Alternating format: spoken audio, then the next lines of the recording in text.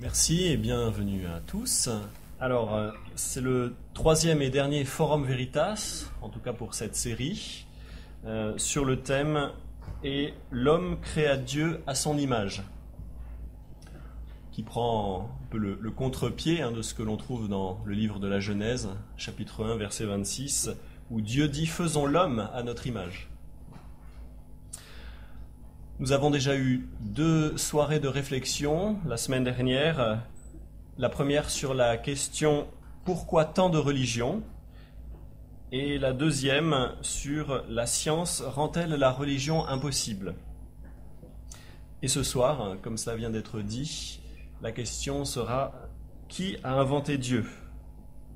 Avec euh, deux intervenants, donc Francis Mo et Daniel Siboni, que je vais vous présenter dans quelques instants. Il y aura aussi Henri Blocher qui interviendra ponctuellement sur des points plus bibliques du débat. J'aimerais vous, donner ou vous rappeler rapidement le, déroulement de notre soirée. Dans un premier temps, chacun des, intervenants euh, exposera son point de vue sur cette question qui a inventé Dieu? Je passerai ensuite la parole à M. Blocher pour quelques minutes. Et puis, les deux intervenants auront 20 minutes pour euh, échanger euh, par rapport à leurs interventions et se répondre l'un à l'autre. Et puis ensuite, euh, vous aurez la parole. Donc, nous aurons aussi un, un temps d'échange et vous pourrez interpeller l'un ou l'autre des invités ou tous euh, sous forme de questions. Et puis, euh, on essaiera, euh, pour respecter l'horaire qui nous est imparti, de terminer à 21h45, comme cela est prévu. Alors, si vous, comme moi, vous avez un téléphone portable, je vous invite tout de suite à l'éteindre. On m'a dit que ça risquait de gêner l'enregistrement donc, euh, s'il vous plaît, éteignez votre téléphone portable pour que euh, la communication euh, passe bien. Ça paraît contradictoire, mais...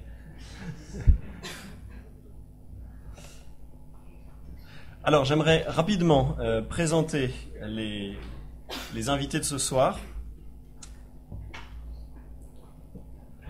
Donc, tout de suite à ma gauche, Daniel Siboni. Vous êtes euh, docteur en mathématiques et euh, vous avez euh, enseigné plusieurs années, animé des, cours et, des séminaires. Vous avez aussi une formation en philosophie. Vous avez obtenu un, doctorat en 1985 et vous êtes aussi psychanalyste après une formation avec Lacan et, son école. Et là aussi, vous animez un séminaire depuis un, un certain nombre d'années. Hein, j'ai vu 1974, c'est ça? Et en plus de toutes ces casquettes, vous êtes écrivain et vous avez euh, écrit euh, plusieurs dizaines de, livres, dont Les Trois Monothéismes, dont vous m'avez dit tout à l'heure qu'il fête ses 20 ans. Nom de Dieu, par-delà les trois monothéismes, ou encore Lecture biblique, et un ouvrage qui vient de paraître en janvier 2012, de l'identité à l'existence. Voilà donc euh, Daniel Siboni qui va intervenir tout à l'heure, et puis Francis Mo qui sera le, premier à prendre la parole tout à l'heure. Vous avez une formation de, psychologue, docteur en, en, psychologie à l'université de Paris-Sorbonne, et si j'ai bien compris, vous avez travaillé à l'aide sociale à l'enfance. Et ce qui vous a amené à réfléchir sur euh, des problématiques euh, de séparation entre parents et enfants, divorce, abandon, maltraitance, et vous avez publié un certain nombre d'articles sur ces sujets. Vous avez aussi écrit Le moi et l'esprit, voyage au cœur de la psychothérapie en 2008, où vous réfléchissez à partir de la tradition freudienne et post-freudienne sur euh, ces méthodes thérapeutiques et le lien éventuel qu'on peut faire entre le domaine spirituel et le domaine psychologique. Et vous allez publier prochainement un livre sur l'éducation des enfants, c'est ça? Voilà. Donc Francis Mou, psychologue. Et puis à ma droite, donc euh, Henri Blocher, qui a enseigné dans de nombreux pays la théologie, qui est actuellement professeur de théologie systématique au Wheaton College et doyen honoraire à la faculté libre de théologie évangélique de Vaux-sur-Seine. Et vous m'avez dit tout à l'heure que vous avez été vice-président de l'Union internationale des GBU, IFES, dans les années 90. Et vous aussi, vous êtes l'auteur de nombreux articles et ouvrages dans des champs de la théologie différents, la christologie, mais aussi sur les origines, où vous avez travaillé sur la question du mal dans Original Sin, le mal et la croix, révélation des origines. Voilà donc euh, nos trois invités de ce soir. Et sans plus attendre, je laisse la parole à Francis Moho. Francis Moho, vous avez donc 20 minutes pour nous présenter vos réflexions autour de cette question qui a inventé Dieu? Merci et bonsoir. Donc le thème ce n'est pas moi qui l'ai choisi. D'abord, s'il avait été question de mettre un titre, j'aurais plutôt mis un titre qui a inventé les dieux, parce qu'ils sont nombreux. Donc je vais parler de l'homme, évidemment. Euh, je vais parler de son évolution, de son évolution des représentations qu'il a de Dieu, et puis après, je donnerai le point de vue de quelques grands psychologues sur le sujet.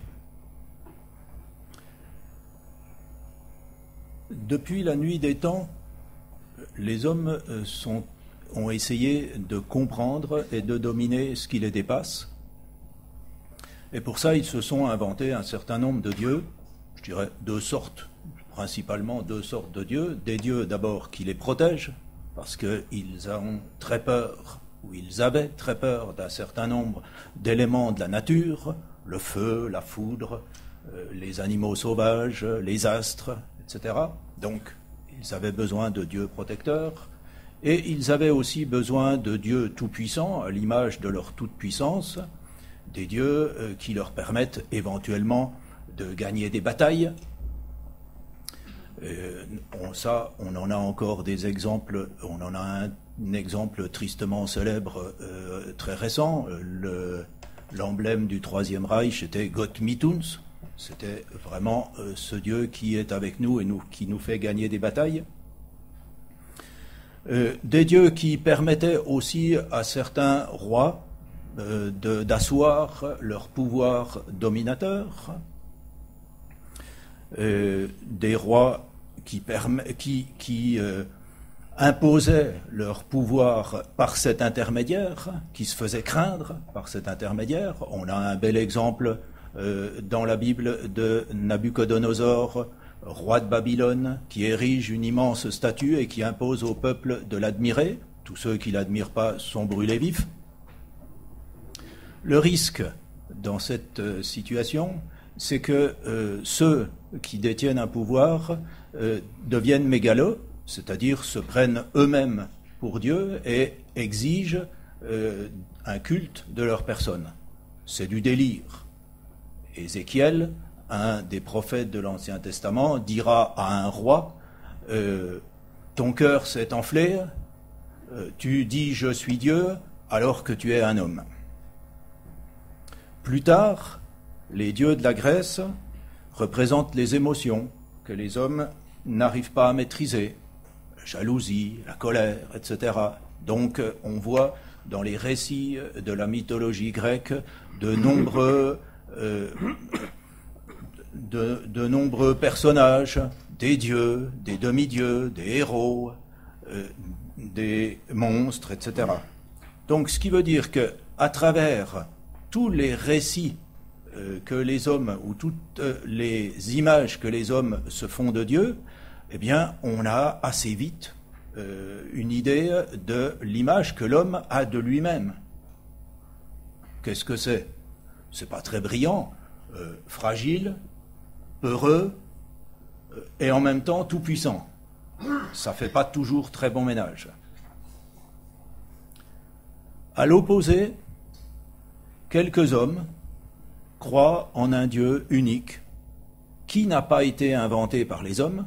Donc désolé pour ceux qui ont mis le titre, mais euh, je vais parler d'un Dieu qui n'a pas été inventé par les hommes, qui est transcendant, contrairement au Dieu que les hommes se fabriquent, et créateur de toutes choses. David, le grand roi David, est en admiration devant toutes les merveilles de la création de ce Dieu. Ce Dieu, par contre, même si on voit ses œuvres, il est invisible. On ne peut pas le représenter, ni avec des images, ni avec des, ni avec des concepts. Depuis Abraham, en tout cas, on sait que ce Dieu a choisi de se révéler aux hommes par la foi, par la confiance. Ce Dieu parle à son peuple, lui fait des promesses, entend ses prières. Mais une chose m'a toujours surprise, c'est que l'homme préfère manifestement les dieux qu'il a fabriqués lui-même. Cela, au moins, c'est du concret. Ça se voit, ça peut se toucher. Même si ces statues, celles qu'il fabrique, en or ou en argent ou en quoi que ce soit d'autre, sont sourdes et muettes. L'or et l'argent sont toujours des statues, même si aujourd'hui elles s'appellent autrement, compte en banque, grosse voiture, etc. Pour ceux qui croient au Dieu qui n'a pas été inventé par les hommes, l'important n'est pas l'or ou l'argent de la statue, mais la parole qui sort de la bouche de ce Dieu dont il parle. David, dans un psaume, dit Tes paroles sont des paroles pures, un argent affiné au creuset sept fois. Et puis, vous connaissez certainement cette parole Au commencement était la parole, et la parole était Dieu. Donc, on peut se demander qui a inventé Dieu, mais on peut aussi se demander qui a inventé la parole. J'ai dit que les hommes préféraient les dieux qu'ils se fabriquent eux-mêmes plutôt qu'un Dieu invisible. Ça s'appelle l'idolâtrie. Et dans l'Ancien Testament, on voit très régulièrement les prophètes lutter contre l'idolâtrie du peuple et tenter de ramener le peuple au Dieu vivant. Jérémie, par exemple, leur reproche d'avoir autant de dieux que de villes. Élie au mont Carmel défie les prêtres du dieu Baal. Il prouve au peuple que son Dieu est plus puissant que le leur. Saint Paul, plus tard, reprochera aux hommes d'adorer la créature plutôt que le Créateur. À ces dieux, quels qu'ils soient, créés ou non créés, l'homme fait des sacrifices, probablement pour les apaiser, jusqu'à offrir parfois ce qu'il a de plus cher. Vous savez que à une époque, on offrait des sacrifices, même éventuellement des enfants. Moïse va interdire ces sacrifices d'enfants. Il va le remplacer par des sacrifices d'animaux. Le grand roi David se rendra compte quelques années plus tard, quelques siècles plus tard, pardon, que son Dieu n'apprécie même pas les sacrifices d'animaux. Alors, on aurait dû normalement abandonner tous ces, sacrifices. Or, la réalité est tout autre. Actuellement, l'homme n'en a pas fini du tout avec les sacrifices. Le psychologue est bien placé pour le savoir. C'est certainement dû à une culpabilité très profonde dont l'homme n'arrive pas à se défaire. Sur ce point, je pense que Freud a raison. Alors s'il y a un Dieu qui est tout-puissant, créateur, etc., il doit au moins être juste. Pourquoi autant d'injustice? David, lui, est obsédé par ce problème du mal. Il est révolté quand il entend des hommes dire avec arrogance Dieu ne punit pas, c'est donc qu'il n'y a pas de Dieu. Il rêve de pouvoir dire au contraire oui, il y a une récompense pour le juste, donc c'est qu'il y a un Dieu qui juge sur la terre. La réalité semble encore bien le contredire. Aujourd'hui encore, les innocents paient pour les coupables. Les journalistes qui font leur travail sont tués. Les opposants au régime totalitaire sont privés de leur droit de discriminer, torturer, etc., assassiner. Alors que le Dieu de David soit tout-puissant parce qu'il a fait sortir son peuple d'Égypte à grand renfort de miracles, alors que ce peuple était euh, esclave euh, en Égypte, oui, peut-être, ça c'est acceptable, mais qu'il soit juste, c'est difficile à croire. Il faudra attendre Jésus-Christ pour comprendre ce mystère. Celui-ci a obtenu justice d'une façon magistrale, mais après sa mort. De plus, il nous présente une image d'un Dieu bon, bon comme un père. Ça, c'est nouveau. Un Dieu qui aime les humains, qui est prêt à tout pour les sauver, sans rien leur demander en retour. Il y a donc, pour moi, une évolution de l'homme et une évolution de l'image que l'homme a de Dieu, ou des images que l'homme a de Dieu. C.S. Lewis un professeur à Oxford et grand spécialiste de la mythologie, pensait que le cœur du christianisme est un mythe et en même temps un fait. Le mythe du Dieu qui meurt se réalise, dit-il, à un moment précis, à un lieu précis. Et il prend l'exemple d'Osiris. Il dit Osiris est mort on ne sait où ni on ne sait quand, et le Christ est mort sous Ponce Pilate, et on sait quand. Donc pour lui, le christianisme, c'est l'achèvement, la réalisation de quelque chose qui a toujours été présent dans la pensée de l'homme. La réalisation. Il y a réalité dans réalisation. Et la réalité, pour moi, c'est bien là le point de rencontre et d'achoppement entre les dieux inventés et le Dieu non inventé. Si je dis par exemple Dieu est ma force, cela peut être mon désir, cela peut être la réalité. Mais dans ce cas-là, ce n'est pas la réalité dont parle Freud dans le principe de réalité. Et justement, si on demandait à Freud ce qu'il pense de cette question qui a inventé Dieu, je pense qu'il répondrait c'est l'homme dans son infantilisme.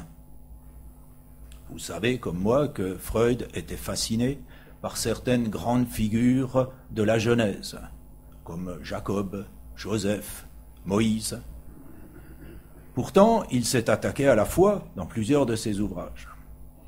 Alors, clivage du père de la psychanalyse, d'un côté l'athée convaincu, de l'autre côté le lecteur de la Bible. Certainement, René Girard dirait que la Bible était pour Freud son modèle et son obstacle. Freud n'a voulu voir en l'homme que sa partie basse. Vous le savez, il n'a parlé que de son moi et de ses pulsions il utilise très souvent une expression rien d'autre que. Et je prends un exemple qui nous intéresse. Dieu n'est rien d'autre qu'une image de Père. Frankel, peut-être vous le connaissez, un des plus grands psychiatres du XXe siècle, contestera vigoureusement son réductionnisme et son nihilisme. Pour Freud, la religion est la névrose obsessionnelle de l'humanité. Comme pour une névrose chez l'enfant, elle dérive des rapports de l'enfant à son père, ce qu'il a appelé, vous le savez, le complexe d'Oedipe. Il luttera contre la toute-puissance de la religion qui écrase l'homme et contre la foi qui est une illusion, dit-il. L'homme va bientôt sortir de son infantilisme, il va devenir adulte, indépendant. Maintenant qu'il n'a plus peur des forces de la nature, il n'a plus besoin des dieux, donc il n'y a qu'à le tuer. Je pense que Freud a commis une erreur, qui est de confondre infantilisme et confiance. La confiance fondamentale est une notion biblique qu'on retrouve beaucoup dans les psaumes, par exemple, ou dans un certain nombre de livres de la Bible, avant d'être un concept de la psychologie, et un concept clé de la psychologie, puisqu'on le retrouve chez un certain nombre de psychologues. Mais on pourrait en dire autant d'un certain nombre de concepts, d'autres concepts de la psychologie. Par exemple, la vérité qui libère. Vous savez que vous ne savez pas que Eric Fromm, un des plus grands psychanalystes du siècle dernier, a écrit un livre, euh, il n'était pas chrétien d'ailleurs, pour dire que euh, toute la théorie psychanalytique de Freud se résume à ce verset que vous avez entendu déjà, la vérité vous rendra libre. Donc la vérité qui libère. Notre besoin d'amour et notre refus de celui-ci. J'y reviendrai. Le besoin de changer certaines de nos façons de penser. La plupart des grands psychologues, d'ailleurs, connaissent bien la Bible et la citent. Freud, je dit, Jung, Mélanie Klein, Winnicott, Frankel, Bettelheim, Dolto, et j'en passe, et certainement bien d'autres. Justement, je vais revenir à deux de ces auteurs qui disent quelque chose qui me paraît intéressant. Bettelheim et Rogers, deux grands psychologues, peut-être que vous connaissez, qui ne sont pas chrétiens, disent tous les deux à peu près la même chose, en des termes presque similaires, quelque chose qui est très différent de ce que dit Freud. Ils disent être dominé par le grand amour d'un autre est la plus grande victoire possible dans les relations humaines, même si cette victoire, vue de l'extérieur, semble une défaite. Être dominé par le grand amour d'un autre est la plus grande victoire possible dans les relations humaines, même si cette victoire semble de l'extérieur une défaite. Ce qui veut dire que la confiance, pour eux, n'est pas du tout de l'infantilisme. Au contraire, c'est un acte courageux. Rogers ajoute qu'une des expériences humaines les plus difficiles est l'acceptation de soi. Être capable de dire je suis digne qu'on m'aime. Quel immense plaisir pour un enfant lorsque ses parents font son éloge. Ce n'est pas de la vanité, mais une joie simple de l'enfant en présence de son père ou de sa mère. L'idée me plaît beaucoup d'un Dieu non inventé qui un jour nous dira C'est bien, bon et fidèle serviteur, entre dans la joie de ton maître. Je fais référence à une parabole bien connue de l'Évangile. Le roi David dit dans les psaumes, Par la bouche des enfants tu as fondé ta gloire pour confondre tes adversaires. Et le Christ d'ajouter, Je te loue, Père, de ce que tu as caché ces choses aux sages et aux intelligents et de ce que tu les as révélées aux enfants. Seuls les enfants et ceux qui leur ressemblent connaissent ce Dieu que l'homme n'a pas inventé.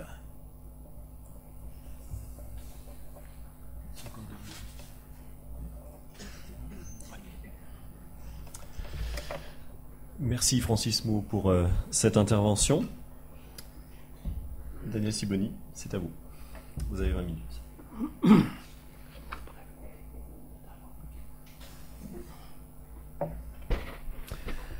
Merci, bonsoir.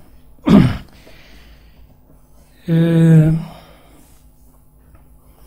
bon, il y a beaucoup de, de choses à, à dire et, peut-être euh, je vais en profiter pour euh, réagir en même temps à ce que, à ce que j'ai entendu pour que ce soit plus utile, disons. Vous savez qu'on a tout à l'heure un temps d'échange, hein, donc si vous voulez. D'accord. Il y aura aussi ce temps-là tout à l'heure. Et dans mon tout dernier livre, De l'identité à l'existence, j'ai côtoyé cette question de, non pas l'invention de Dieu, mais de comment ça s'est construit. Bien sûr, euh, d'après ce qu'on a entendu et d'après une certaine évidence, c'est clair que c'est la Bible hébraïque qui est le premier texte à articuler de façon suivie, insistante, quelque chose qu'elle appelle euh, la parole de de quoi? Mais justement, le Dieu de cette Bible hébraïque s'écrit en quatre lettres qui sont les anagrammes de lettres. L'anagramme de lettres, c'est-à-dire euh, qu'en hébreu, si vous permettez, permutez ces quatre lettres, vous avez le temps et qui fait circuler l'être, c'est-à-dire l'être au présent, au passé, au futur. Yud et Vavé, qu'on note quelquefois Yahvé, ça se prononce pas. Donc ça peut être Yahvé, ça peut être Adonai, et peu importe, le, le, le vrai nom est imprononçable. Mais ce que le texte veut signifier par là, c'est que il se réfère non pas à une personne évidemment, non pas à une espèce de d'instance paternelle, comme euh, Freud a pensé que euh, toutes les religions euh, se ramenaient à l'idée de chercher un père protecteur. Non, il me semble que ce texte fait parler l'être. Et donc, la grande découverte de cette euh, première Bible, c'est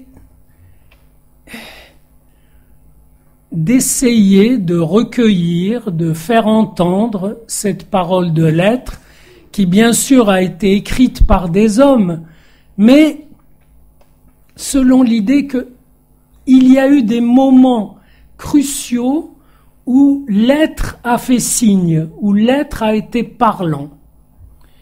Et voilà la petite euh, histoire à laquelle j'ai abouti quand dans ce livre euh, de l'identité à l'existence, euh, je me suis posé la question de comment s'est inventé ce peuple dit élu, ce peuple de Dieu, ou ce peuple qui amène Dieu dans ses bagages. Et je me suis dit que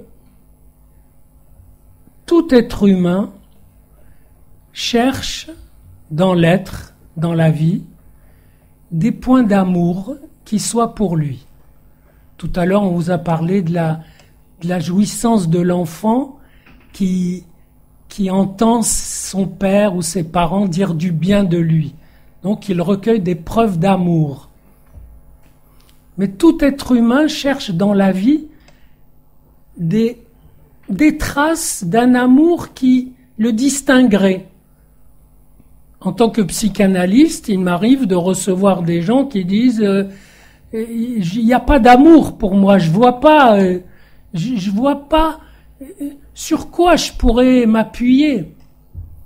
Donc ils, n'ont pas trouvé leur euh, point d'amour. Votre point d'amour, vous pouvez le trouver dans une rencontre amoureuse, vous pouvez le trouver dans, dans un événement qui vous, qui vous révèle euh, à vous-même. Si vous êtes chercheur, vous le, vous le découvrez de, de, de maintes façons dans, dans une trouvaille.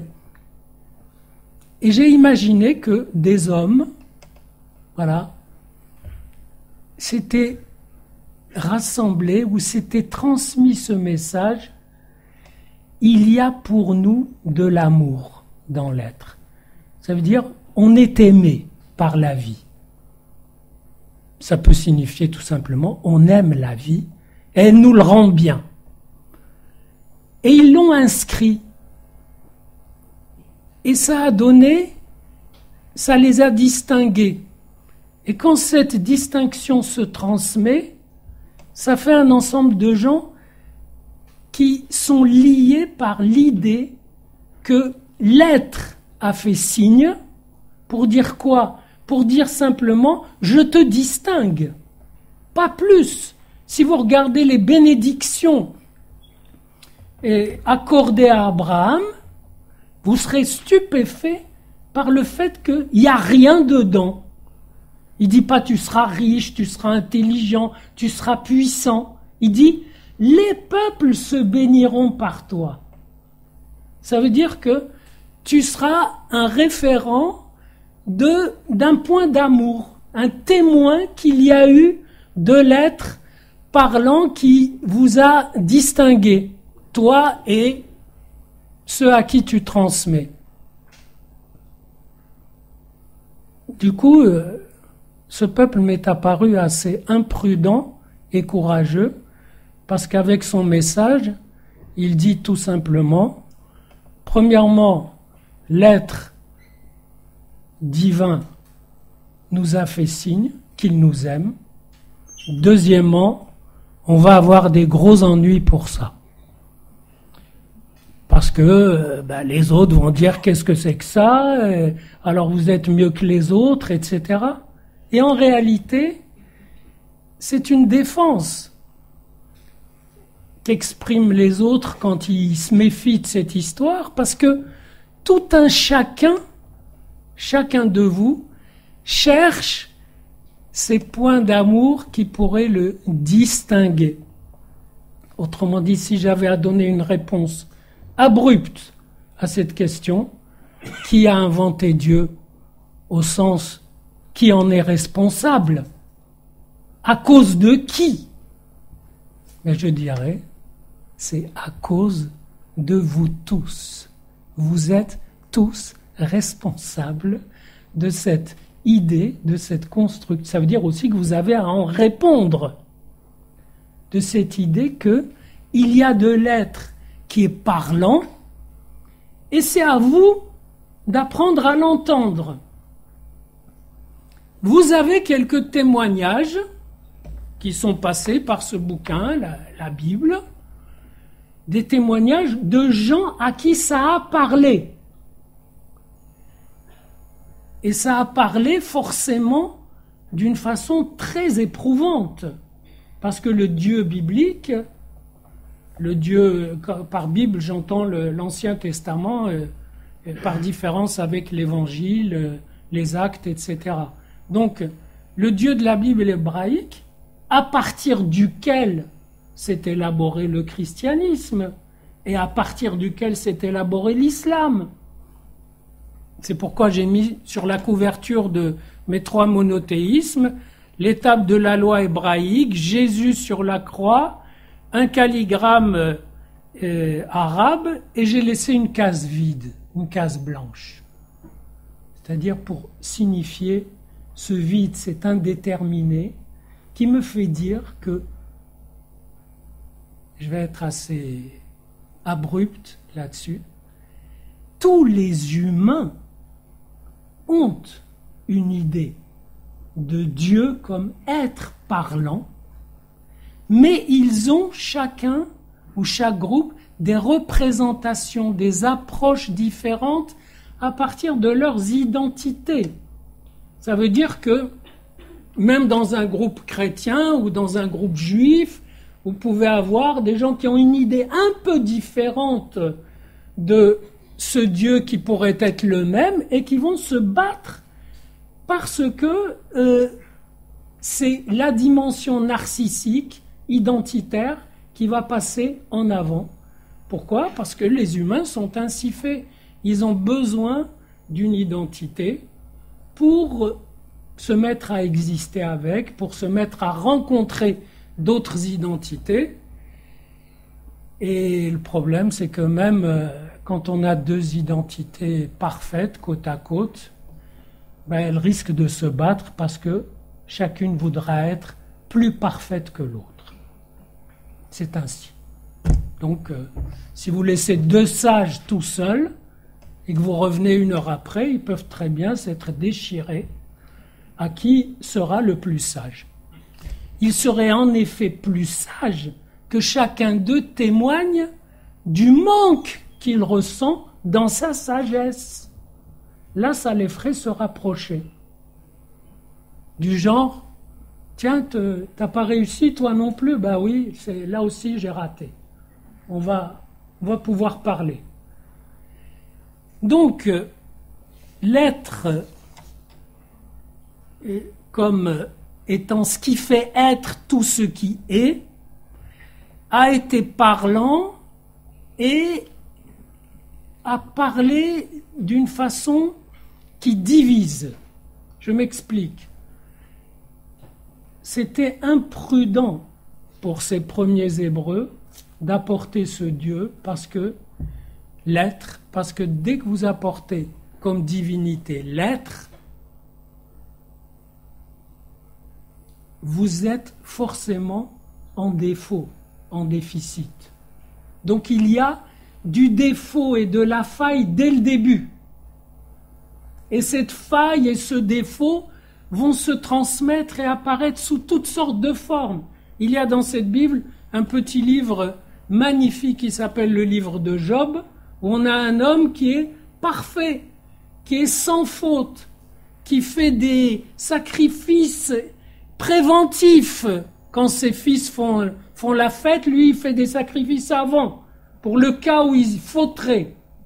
Donc le type impeccable. Pardon, sans faute. Voilà, je viens d'en faire une. C'est sans faute. Et donc, euh, ben, je suis désolé, je suis de, né à Marrakech et là-bas on parle beaucoup avec les mains. Et donc, euh, il, il est tout à fait sans faute et il lui tombe dessus des malheurs. Et ses amis, un peu psy euh, lui disent, lui disent, ben, écoute, si tu as des malheurs, tu y es pour quelque chose. C'est que tu as fauté. Et lui dit, non, je n'y suis pour rien. Et à la fin du livre, le, le Yahvé se fait entendre et dit, d'abord fais des sacrifices pour tes amis parce qu'ils m'exaspèrent. Et ensuite, il se retourne vers Job pour dire, et toi, où étais-tu lorsque telle et telle et telle chose se sont créées? Ça veut dire, il lui dit, il lui renvoie sa finitude. Ça veut dire, il peut vous arriver, que vous soyez parfait ou imparfait, des malheurs et des épreuves qui ne se raccrochent à aucune faute, à charge pour vous d'en faire un commencement, un nouveau départ une nouvelle origine, ou bien, au contraire, d'en faire un sujet de gémissement et de victimisation sans fin. Autrement dit, dire que ce Dieu n'est pas juste, c'est comme de dire oh la vie n'est pas c'est pas juste quand même. C'est pas juste la vie. Ça voudrait dire quoi si c'était juste? Ça voudrait dire que si on fait bien, on a bien. Si on fait mal, on a mal. Mais ça, c'est un, c'est un manuel euh, de conduite trop élémentaire. Ça marche pas comme ça. Il y a du bien que vous faites et qui tourne mal, et il y a du mal que vous avez reçu et qui peut produire un bien. Le bien et le mal s'intriquent il y a la justice des humains, il y a les lois des humains, mais il y a aussi une justice symbolique qui vient de plus loin et, vous, et qui vous fait dire, ah ben dis donc, il y a une justice. Là où la justice des hommes a complètement failli. Donc ce Dieu biblique est un Dieu d'amour, de rigueur, de grâce, de violence, d'injustice, au sens où nous percevons la justice accessible. Il y a même un verset d'Isaïe 45 où Yahvé parle et dit C'est moi qui fais la paix. Attendez-moi, ça me revient en hébreu. Yotzeror ou Borer je crée la lumière et je façonne l'obscurité. Rosé je fais la paix, ou Borera, et je crée le mal. Sous-entendu, c'est la vie, à vous de faire les bons choix. Il y a aussi un autre verset qui dit J'ai mis devant toi la vie et la mort, le bien et le mal. Tu choisiras la vie. Ou choisis la vie afin que tu vives. Alors à partir de ce Dieu, il y a eu plusieurs évolutions. Donc on a parlé de l'avènement du christianisme. Quand on lit les évangiles, on s'aperçoit que tout ce qui était en suspens, qui n'était pas accompli, est appelé à s'accomplir. Il y a beaucoup de citations dans le Nouveau Testament.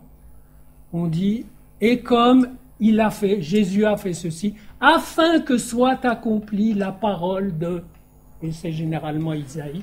Donc, on cite l'ancien texte pour dire, voilà, ça s'accomplit. En réalité, j'ai fait un travail non publié où je montre que c'est pas seulement au niveau des citations, c'est au niveau du texte même évangélique que c'est écrit avec des signifiants de l'Ancien Testament pour, en quelque sorte, capter, écumer les points d'amour de l'ancien texte et les incarner dans un symbole, Jésus, qui lui va d'abord être plus accessible, plus ressemblant. Voilà, les hommes pourront s'identifier. Il y a une dimension identificatoire, il y a une dimension euh, plus, euh, je dire, moins abstraite. Mais si on y réfléchit, je pense que euh, le problème aujourd'hui dépasse la gestion religieuse du divin. Ça veut dire que pour moi, aujourd'hui, les non-religieux s'approchent de la question du divin en dehors des pistes établies par les différentes religions, comme si les réponses qu'avaient données les religions avaient servi en quelque sorte à contenir ce divin, mais ne correspondaient pas aux questions existentielles que se posent les individus dans leur vie et qui, et qui leur font rencontrer le divin sous quelle forme? Sous la forme, une forme que j'ai développée dans le livre que j'ai appelé Nom de Dieu. Rassurez-vous, ce n'est pas une injure. Dans ma tradition, à Marrakech, quand un enfant risquait de se casser la figure, on disait Ismallah en arabe, ça veut dire nom de Dieu. Ça veut dire on invoquait Dieu, tout simplement, pour éviter qu'il tombe mal. Et donc, euh, ça marchait pas toujours, mais justement, Dieu, c'est pas fait pour fonctionner bien. Parce que l'idolâtrie, je dirais, c'est quand on dit c'est un Dieu qu'on se fabrique, euh, est-ce que vous, vous êtes, est-ce que vous connaissez des gens qui se fabriquent des dieux aujourd'hui autour de vous? Non, vous ne les connaissez pas. Il n'y en a pas.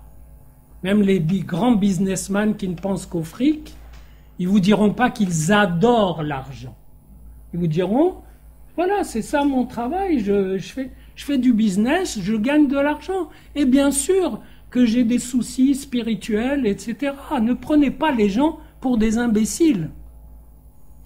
Donc, l'idolâtrie, c'est l'idée qu'on a tous, à tout moment, lorsqu'on aurait besoin d'un Dieu à sa main. Hein? à sa main, ça veut dire qui répondrait comme on veut. Vous voulez un exemple de parole idolâtre Imaginez je l'ai entendu maintes fois, une femme qui dirait Ah, moi j'étais, j'étais très croyante, mais un jour j'ai vu de telles horreurs. J'ai vu un enfant tué, et je me suis dit Un Dieu qui permet ça, non, c'est pas possible. Autrement dit, elle compte, sa croyance, c'était le fait de maintenir vivant ce Dieu tant qu'il était au rendez-vous qu'elle lui donnait, et s'il n'est pas au rendez-vous, elle le débranche, tout simplement. C'est-à-dire, il n'existe plus. Ça, c'est l'idolâtrie. Mais en fait, la plupart des gens, religieux ou non, et je pense beaucoup aux non-religieux, parce que j'en vois beaucoup, rencontrent le divin sous la forme d'état limite de l'être ça veut dire chaque fois que vous êtes dans une épreuve limite, dans un état de détresse extrême ou de joie extrême, dans un état limite où vous êtes dépassé par vous-même ou par la vie, à ce moment-là, vous êtes en proie au divin. Vous êtes en train de vous battre avec le divin. Et c'est peut-être pas un hasard si, dans le premier texte, le peuple s'est appelé Israël. Israël, ça veut dire qui se bagarre avec Dieu. Ça veut dire qui s'empoigne avec Dieu, qui est dans, mais dans une guerre d'amour. Évidemment, pas une guerre d'anéantissement. Eh bien, je pense que tout un chacun, aujourd'hui, connaît cette épreuve où il se bat avec ses états limites et où il rejoint, il croise les témoignages des différentes religions. Je prends encore une minute, je rentre du Japon où j'ai fait des conférences et je suis passé devant un temple bouddhiste. Et il y avait une sorte de, de jeu, je dirais. Les gens agitaient une boîte, il en sortait un petit objet qui indiquait dans quel tiroir il devait tirer. Un, une petite feuille. Il tirait et la feuille leur indiquait euh, l'avenir.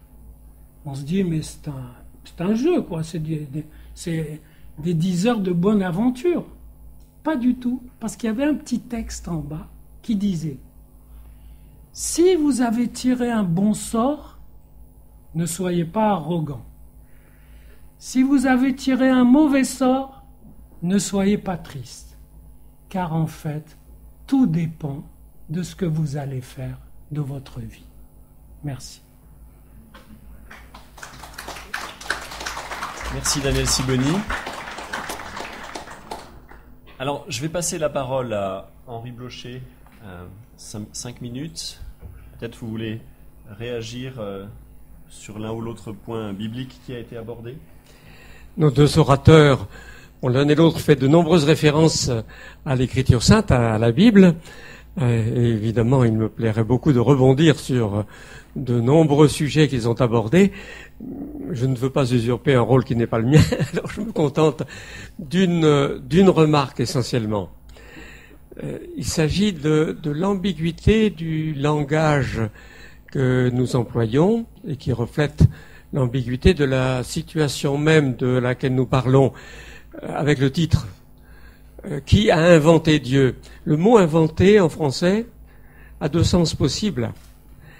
Nous l'employons très souvent avec l'idée que l'inventeur crée, qu'à partir de rien, il, il fait exister quelque chose qui n'existait pas, mais ce n'est pas le seul, et notre langue juridique a conservé un autre sens du verbe inventer. On parle de l'inventeur d'un trésor pour celui qui découvre un trésor.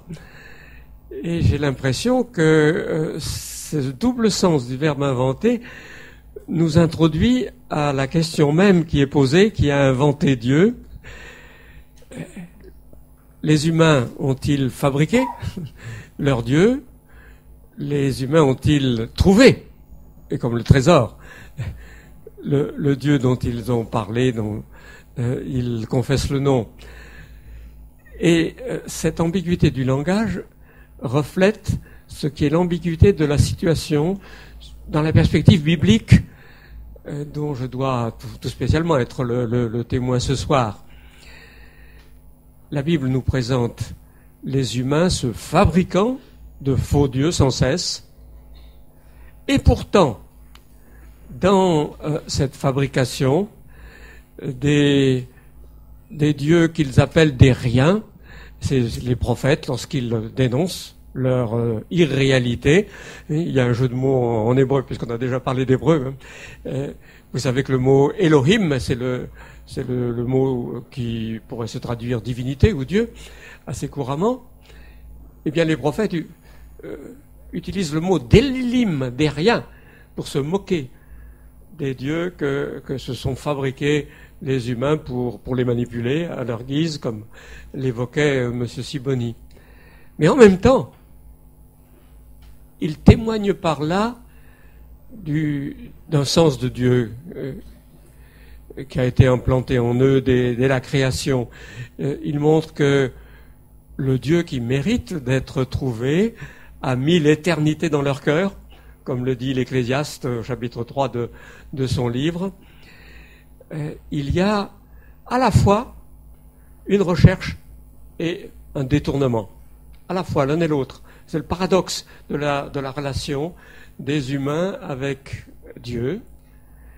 Et l'un des, des, traits qui euh, différencie le Dieu que l'on trouve ou qui se fait trouver et euh, les dieux qui sont simplement des, fabrications, mais, pour répondre à un besoin qui est là, euh, c'est précisément celui de, l'être, de, la densité d'être qui est en cause. Euh, le Dieu qui se révèle à, Moïse au chapitre 3 de l'Exode, et euh, avec la paraphrase de son nom Yahweh, il utilise la première personne du verbe être au singulier, je suis, je suis ou je serai.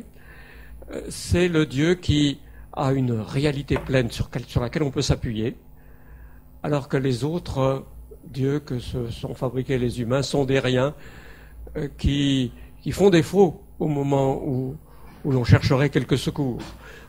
C'est là, là un contraste que les, prophètes et les hommes du Nouveau Testament, les, les apôtres et les évangélistes font aussi euh, euh, valoir. Le, le, Dieu Yahweh, je termine par là, cette courte intervention, euh, c'est le Dieu dont la métaphore est le rocher sur lequel on peut s'appuyer. Il y a une parole dans le livre d'Ésaïe qui a été déjà évoquée. Qui est Dieu si ce n'est Yahweh? Qui est un rocher si ce n'est notre Dieu? Merci Monsieur Blocher. Alors maintenant, nos, deux intervenants vont pouvoir euh, échanger, se répondre l'un à l'autre. Alors peut-être je vais vous demander, Francis Mo, euh, si vous avez une, réaction par rapport à ce que Daniel Siboni a, présenté. Oh. Pardon. Et je reviendrai bien sur juste une phrase qu'il a dite euh, Tous les hommes ont une idée de Dieu, Dieu parlant.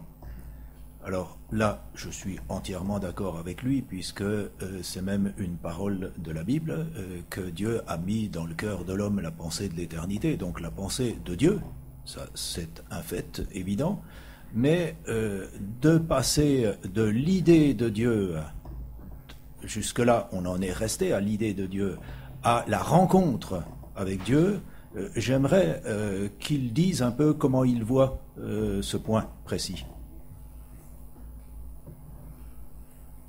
En fait, je nuancerai, parce que j'ai été un peu vite, et je ne suis même pas sûr qu'ils aient tous une idée de Dieu.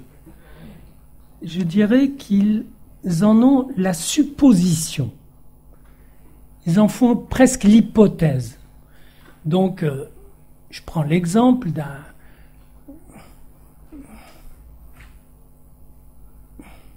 de quelqu'un qui invoque son Dieu. Donc je reviens du Japon et il y a les pêcheurs, ils invoquent le Dieu des pêcheurs. On dirait, bah, le Dieu des pêcheurs, qu'est-ce que c'est que cette histoire? C'est des idolâtres. Je ne pense pas. Je pense que qu'est-ce que c'est que le bien-être pour un pêcheur? C'est qu'il y ait de la bonne pêche. Donc, il invoque en quelque sorte l'être généreux qui s'exprimerait dans la mer en faisant foisonner le poisson. Bon, ils vont pas comme ça appeler l'être. Il dit, ça s'est transmis de génération en génération. Le nom qu'on appelle, c'est quand on est un pêcheur et qu'on va à la pêche et qu'on sort en mer, c'est un certain Dieu. Et on l'appelle comme ça. Je pense même que les Grecs avec leur Dieu, bon, le Dieu, de, les forgerons, ils avaient Vulcain, le, d'autres avaient, avaient un, Dieu pour chaque, pour chaque qualité. Je ne, je ne suis même pas sûr que je dirais que c'est de l'idolâtrie. C'est comme une approche un peu, un peu pratique pour dire voilà, euh, c'est ça qu'on appelle. Nous, quand il s'agit de bien forger le fer, ou quand il s'agit de bien. Mais lorsqu'on fait une prière au Dieu biblique, à Yahvé, si on est un forgeron ou si on est un pêcheur, on va dire, euh, mon Dieu, tout comme tu as fait tel euh, miracle, fais que la pêche soit bonne et qu'on puisse se nourrir, etc. C'est-à-dire tout simplement, les prières sont des textes qui sont des appels à cet être pour qu'il fasse signe et qu'il rende la relation à l'être plus vive, plus vivante, plus féconde. Et donc, la rencontre du divin, c'est la pratique dans l'existence de ce rapport à l'être d'une manière qui soit parlante, inspirée, euh, je dirais, euh, révélante, révélant de l'amour possible, et à la limite articulable à, de la texture qui existe déjà et qui en parle. Évidemment, c'est pas très catholique ce que je vous dis, mais je suis pas catholique. C'est pas grave. En revanche, je trouve que quelles que soient les religions, juives, chrétiennes, catholiques, protestantes, etc., elles ont essayé de façon, à mon avis, émouvante, de baliser ce rapport à l'être pour dire voilà, ça se passe comme ça. Notamment la religion chrétienne, elle a opéré une gigantesque simplification. Dit si vous croyez en Jésus, si vous croyez en sa résurrection, vous êtes euh, sauvés. Et même vous le faites vivre. Vous le faites, vous participez à cette résurrection en y croyant. Je dirais même qu'elle met la réponse dans les mains du croyant qui, par sa foi, ferait exister l'objet de sa croyance. C'est formidable. N'empêche que devant un problème de la vie, il peut toujours dire Moi je crois en Jésus, l'autre dira Moi je crois en Allah, l'autre dira Je crois en Adonai. Très bien, mais le problème du rapport réel à vivre, ce problème de la rencontre dans le vécu, à même l'existence, reste toujours ouvert. Alors, monsieur Mouot, cette euh, distinction entre idée de Dieu et rencontre avec Dieu, comment vous. Quand vous dites que la religion chrétienne a simplifié les choses, je ne vois pas les choses de la même manière. Je pense que les choses sont simples et que euh, chacun de nous, on les a compliquées. Très bien, très bien. Je, je, je veux bien. Et vous savez, au départ, j'étais chercheur en mathématiques. Je peux vous dire que en mathématiques, c'est très compliqué parce qu'on avance, surtout quand on ne sait pas ce qu'on veut démontrer, mais on a des questions. On ne sait pas si, si c'est démontrable, on ne sait pas si ça passe, etc. Donc on écrit beaucoup de choses compliquées, et le but c'est d'arriver à quelque chose de simple, c'est-à-dire d'arriver à quelque chose qui dirait très simplement que ceci c'est pareil que cela et que ça ne se voyait pas, dit mais c'est une merveille, c'est une révélation. On a donc à la fois une différence et un dépassement de cette différence. Donc euh, le christianisme, quand j'ai dit il a simplifié, c'est pas péjoratif. Il a rassemblé en quelque sorte toutes, tous les points de promesse qu'il y avait et il en a il en a rassemblé pas mal, et il a dit voilà, c'est Jésus qui a accompli ça. Très bien. Mais dans le vécu, dans l'existence, je dirais que ça aide les chrétiens, tout comme le Dieu des pêcheurs aide les pêcheurs japonais. Tout comme, c'est-à-dire, ils font la prière, ils y vont, et puis le bateau coule. Ah, tant pis. Voilà. Est-ce qu'ils vont dévisser leur Dieu? Pas du tout. Dieu, voilà, on n'a pas eu de chance ce jour-là, ben voilà. Et peut-être qu'ils vont chercher. peut-être qu'on a fait du mal, etc. Il y a de la culpabilité. La culpabilité, il y en aura toujours, rassurez-vous. Et non pas parce qu'il y a un péché originel, parce que dans la, dans la Bible, dans la Genèse, il n'y a pas de péché originel. Il y a le fait qu'ils découvrent le sexe, qu'ils découvrent euh, la transgression. Et s'ils étaient restés dans leur petit jardin, comme des ados dans un enclos, bah, il ne se serait rien passé. Donc, euh, vive cette première transgression. En revanche, c'est dans la vie que la culpabilité est très utile. Si elle n'écrase pas l'individu, la culpabilité est utile. Les gens qui n'ont pas de culpabilité du tout, à savoir les pervers, sont des gens tout à fait dangereux pour eux-mêmes et pour les autres. La culpabilité, ça, sauf si évidemment elle est écrasante et sauf si elle est déplacée. Déplacée au sens une culpabilité tout à l'heure, j'ai eu une séance avec une personne qui a été victime d'un viol. Évidemment, elle était coupable. On se dit, tiens, mais c'est le monde à l'envers. Elle est, elle est violée et c'est elle qui est coupable, qui se sent coupable. Eh bien oui, cette culpabilité a servi à la, préserver un petit peu, à lui laisser une idée de loi, sinon elle est explosée, elle était dans le chaos, jusqu'au moment où elle a plus pu supporter cette culpabilité.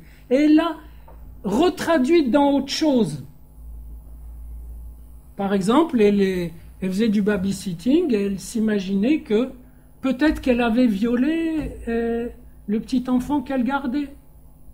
Alors les psychiatres ont beau lui dire pas du tout, t'as rien fait, elle dit non, non, je pense que je l'ai fait. Donc, quand une personne est pleine de culpabilité et qu'elle la déplace, là, c'est, il faut vraiment de la psychanalyse pour euh, démêler les, choses. Donc la culpabilité, il y en aura. La pulsion, vous avez dit, et le, que Freud s'est intéressé aux parties basses, comment ça de, oui, aux parties basses de l'homme, mais c'est-à-dire aux pulsions. Euh, c'est ça que vous avez. C'est même lui qui le dit. Voilà, c'est lui qui le dit. Mais je pense que Freud le disait avec humour, pour dire que ces, ces pulsions, elles sont dans les parties basses du corps, inférieures, c'est-à-dire sous la ceinture. Mais il ne veut pas dire que c'est bas parce que on peut faire des bassesses avec des grandes idées, on peut faire des bassesses et des choses sublimes avec les pulsions sexuelles. On peut faire de l'amour.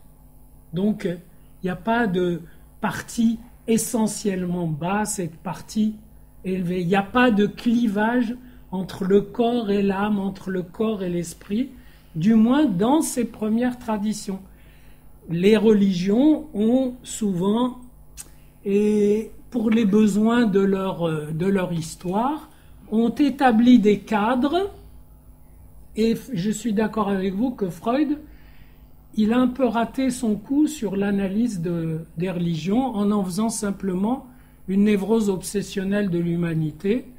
Il n'a pas vu que dans les croyances, les gens y mettait autre chose que le contenu des croyances. La croyance est une forme de l'amour, tout comme la confiance. Donc si on dit, moi je crois que je crois dans un avenir meilleur, je crois que demain ça va bien se passer, ça veut dire j'aime l'idée que demain ça va se passer. Et ça va bien se passer. Et cette idée d'amour me soutient. Et lui, Freud, il peut dire Qu'est-ce que c'est que ça? Croire que demain ça va bien se passer. Qu'est-ce qui vous prouve que demain ça va bien se passer? C'est une illusion. Alors, monsieur Mou, peut-être vous voulez répondre et puis ensuite on va donner la parole à la salle. Oui, j'ai un peu tiqué quand euh, Daniel Siboni a dit que la culpabilité, il y en aurait toujours. Euh, en faisant référence au pervers. Sur ce point, évidemment, je suis entièrement d'accord avec lui. Euh, L'Évangile dit quelque chose de différent, je trouve. Il dit, oui, nous sommes tous coupables et nous resterons coupables, mais nous sommes pardonnés. Et ça, il me semble que c'est quelque chose euh, qui n'est pas évoqué jusqu'à maintenant. Et pour moi, c'est fondamental. C'est-à-dire, oui, notre nature ne change pas, donc là-dessus je suis d'accord, mais nous sommes pécheurs et pardonnés. Et ça, c'est quelque chose qui pour moi est indispensable.